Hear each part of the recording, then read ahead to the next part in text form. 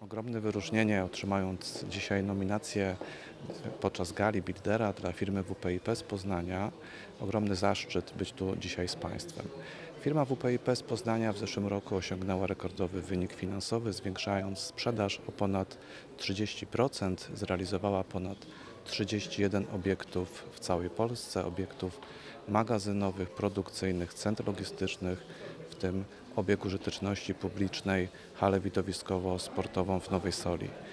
Awans w pozycjach generalnego wykonawcy o 37 pozycji jest największym skokiem w Polsce wśród generalnych wykonawców. Nie ukrywam, że sukces ten byłby niemożliwy bez kadry zespołu całej drużyny WPIP, z którą pracujemy ponad kilkanaście lat.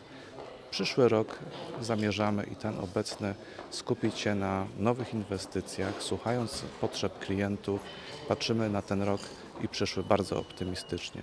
Jeszcze raz gratulując innym nominowanym wykonawcom, dziękuję kapitule i do zobaczenia w przyszłym roku. Dziękuję bardzo.